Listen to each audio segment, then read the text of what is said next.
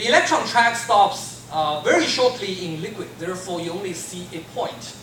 Uh, but thinking of the double beta events, you actually have two electrons emitting from the same vertex, so you do actually have the uh, tracking ability that will allow you um, to um, uh, that will allow you to do the uh, discrimination, looking for specific uh, tracks. And this was actually a concept which initially uh, like, initiated by a Spanish collaboration called NEXT. So for us, we envision the first module to be 200 kilogram uh, with 10 atmosphere, uh, enclosed in ultra-pure copper. Uh, and then you will be able to do the electron drifting same way as the liquid TPC. Uh, but the electron tracks is longer in the liquid, uh, in, in the gas. And in the end, we will have four more upgraded modules uh, to reach a ton scale experiment. And the sensitivity for such an experiment is illustrated here. Okay, so for the first 200 kilogram module, if you look at the sensitivity to an effective uh, double beta decay, effective mass, uh, m beta beta, it will be able to reach to a level of 100 milli electron volts. Okay, so here are two bands in this m beta beta versus the lightest neutrino for the inverted neutrino hierarchy and the normal hierarchy. So 200 kilogram is actually getting to a pretty interesting region, although not entirely uh, um, just uh, touching or kissing the span from the inverted hierarchy. And the ton scale experiment would be actually be, uh, be fully covering this inverted hierarchy region. Um, just assuming a standard three neutrino, um, a light neutrino uh, paradigm, Majorana uh, paradigm. Okay, so just to show you that everything is happening in real time, this is uh, the um, the design uh, picture showing the one experimental hall. This is how it looked like in reality. And if you, so this is you viewing the end of the uh, experimental hall. This area is a, um, uh, the area for the water pool. The water pool is 13 meter deep. And you see that everything is lined already with concrete. And uh, this thing is recently in place. And now we're building a steel structure, uh, building a large platform on top of the water pool so that all the equipment can get on. And we're also constructing the cranes and all the infrastructure for the experimental hall. So things are moving along very quickly. So let me now um, summarize uh, what I said. Uh, hopefully I convinced you that there are actually are many exciting physics opportunities in Panda X um, at the world deepest the CJPL, and we are also moving along very fast. Uh, Panda 2 has reached the forefront of the dark matter research. Um, and we will continue the Panda 2 data taking until the end of 2018. And uh, the collaboration is going forward uh, in preparation for the next phase multi-channel dark matter experiment, as well as the Panda X3, the double beta decay experiment. And uh, for this forum, we really love to discuss with theorists. Uh, we have data, and uh, we like some guidance to um, from theorists where and what to look in the data. Thank you very much. Thanks for the very exciting talk. Uh, questions?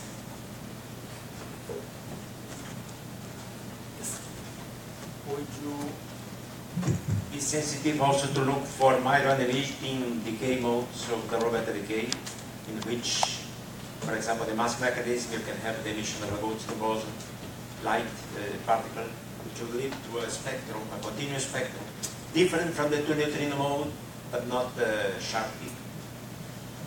Yeah, well, so we have the spectrum.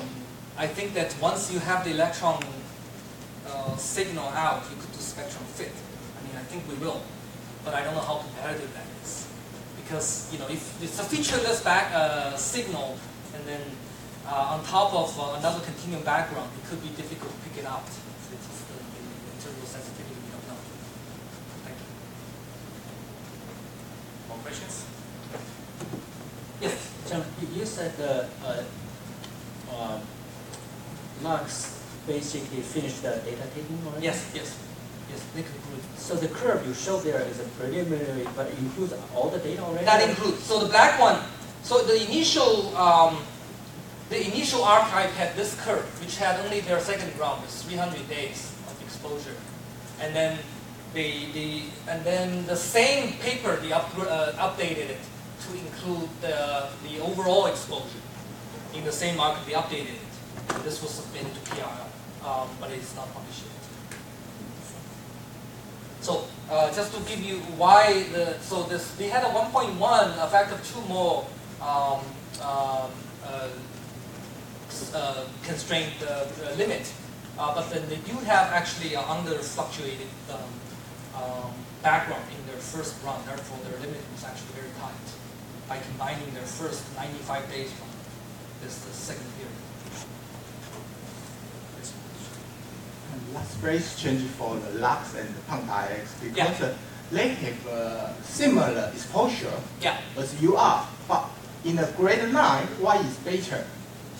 The gray line is better. I, there's a number of reasons. It's just slightly okay. So when you look at this, uh, I think that uh, the uh, the gray line, uh, uh, we are slightly better at the low mass, and they are slightly better. This is a log scale. They're slightly better at the, uh, the high mass. The most important reason is that their energy cut is higher than ours. I see. So therefore, you include more high energy recoils, leading you more sensitivity to the high mass uh, winds. It was Okay. just a choice of the. Uh, it was just a choice of the, the energy cut. Because I always confused about the Lux their analysis. Why don't they publish it? Do you know why, why don't they publish the data like uh, Panda X does?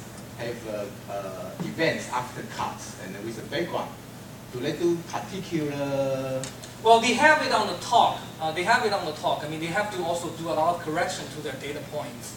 And they don't have a table showing exactly what is the leaked events below that because they actually have several running conditions. I think in particular in the second running period, they had actually a uh, time-changing drift field, which uh, does not really allow you to uh, make a simple cut and do a cut and count analysis. The, the, it's a time-changing condition, so th- there's not a single line you could say below this line is signal light. So So, they didn't, yeah, therefore they don't have such That, a that, that effect is a limit. well, the, the, the trick is if you start doing likelihood analysis, in principle, you have more information. So it's no longer just a cut and count. You take into account all the um, uh, signal and background distribution. Now, if you have some strange leaked events, which is not consistent with the signal PDF in that matter, in fact, it doesn't really, really it does not hurt that much the, uh, the, the limit because it does not look like the, the signal anyway. So, so the profile uh, analysis give you more handle. I think that's another reason for that. Uh, um, you know, so, so you cannot directly compare apple to apple using a cut and count analysis and a profile analysis. Yes. Uh, I'm just wondering, uh, so for uh, PandaX-II uh, data, so the curve is not at 1 TeV for the Yeah. camera mass. You can go higher as the other guys. are There was no reason not to. There was no reason not to. Yeah. Okay. So, so we could, and- but it's uh, uh, in fact, it's th- this this line is essentially predictable. It's just going straight up. I mean, in the Lux paper, if you look at their first paper, there was an interesting comment. Their first paper says this line goes all the way up to heavier and heavier uh, dark matter mass, except uh, at certain point the effect of the Earth uh, scattering this, uh, the WIMP start getting reported. So, so it just keep going. It's funny. It, it's very predictable line. You just keep going up straight up. Just- So you guys could do that? we could, we could. There's no reason not to. Yes. No, just out of curiosity, you mentioned there is eight experimental halls now Yeah. at this new site. Are there any plans for what to do in the Yes. other? So, uh, in, in fact, I cannot speak for the for the lab, but uh, there's actually there's an international advisory committee which was visiting the um, uh, having a, a panel discussion uh, last week. So there are proposals. Um, this is Panda X. Um, I believe um, this experimental hall is for the next phase of CDEX. So, so whatever is already in CJPL1, we'll move to these two experimental halls.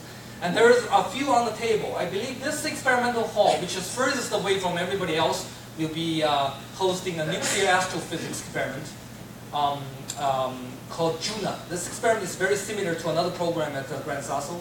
Essentially measure very low cross-section alpha N process um, um, in the, uh, in the um, early universe. So that was uh, uh, nuclear astrophysics. Uh, and then the rest is the proposal on the table. There will be actually a directional dark matter um, detection experiment, um, um, which was being discussed. And uh, there's another double beta decay experiment also using gases TPC. Being discussed. Uh, what's the other one?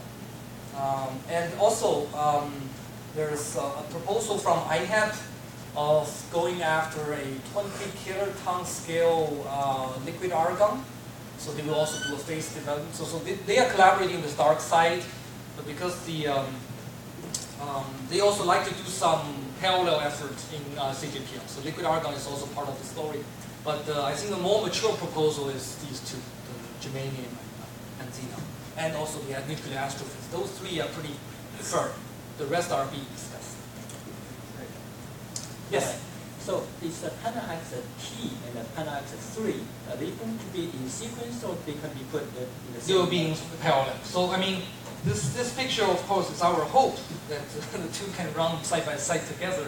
We never know whether the uh, the schedule. I think that uh, so we will try to do a, uh, a photon experiment and uh, a 200 kilogram module in parallel. Depending on the schedule, we'll see which one goes in first and whether these two are practical to run into the, in, the, in, the, in the same period.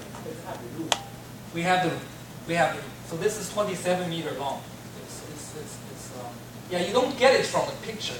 It's, it's hard to, um, to really take the picture, but this is 27 meter long. So our uh, judgment is that each detector should be at least shielded the five and a half meters away from the rock. So it's a huge, huge waterfall. But one of the experiments generates some background to the other. No, we look at it.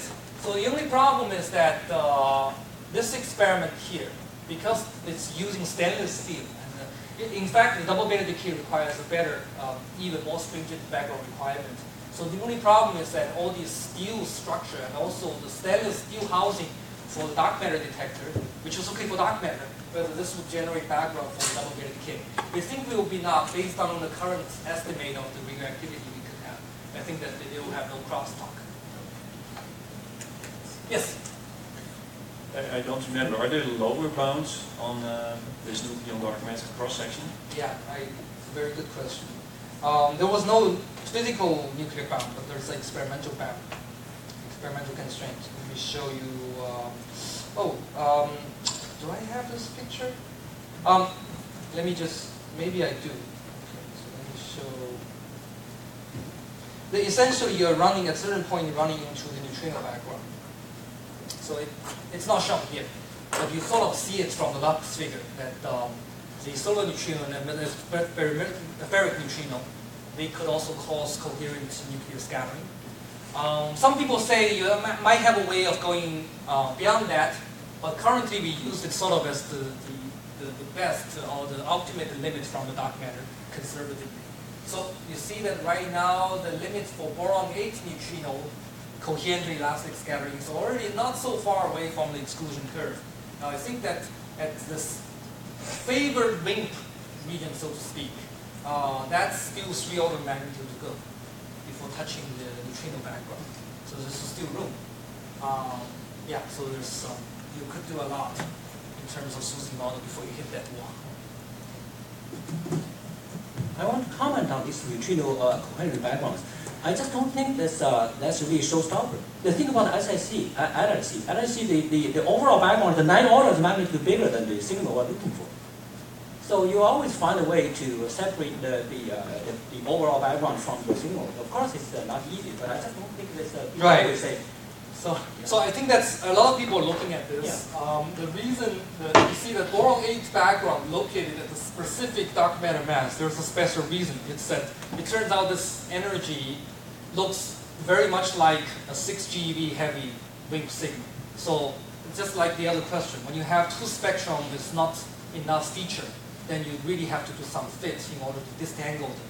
You do have sensitivity by looking for the difference in shape, but uh, the handle is small, so people are not sure about the sensitivity exactly.